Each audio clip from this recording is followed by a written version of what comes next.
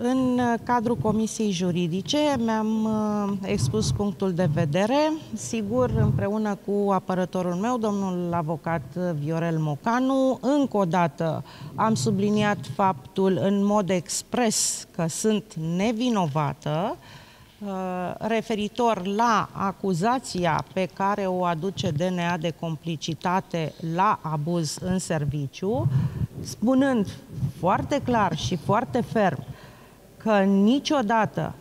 uh, nu am încălcat legea. În toată activitatea de ministru pe care am desfășurat-o, am tratat cu maximă responsabilitate și am acționat cu bună credință. Niciodată nu am avut cu vreo persoană vreo înțelegere ilicită sau nu am ajutat sau am sprijinit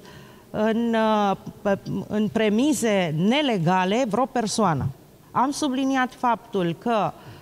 nu a existat nicio citație, nicio chemare din partea uh,